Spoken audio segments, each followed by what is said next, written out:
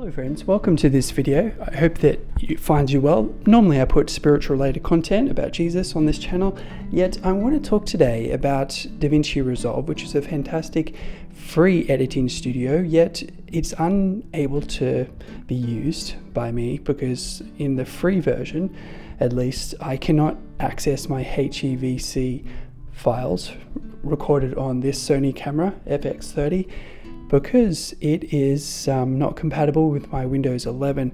I've tried on a laptop and a desktop and I've paid the dollar to get the converter via Windows. If you have a solution after seeing this video, please let me know in the comments and I'll pin that or the different solutions to the top.